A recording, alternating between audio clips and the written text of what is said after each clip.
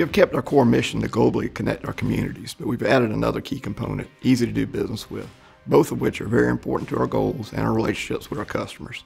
The complexities of a fast changing, constantly evolving technology business are always challenging the easy to do business with part. Offering a variety of solutions in a simple, easy to use manner is not always achievable when the components of these solutions are constantly changing. Sometimes the latest and greatest widgets that everyone wants only work one particular vendor or one particular product. Therefore, having an integrated, easy to use customer interface just cannot be accomplished.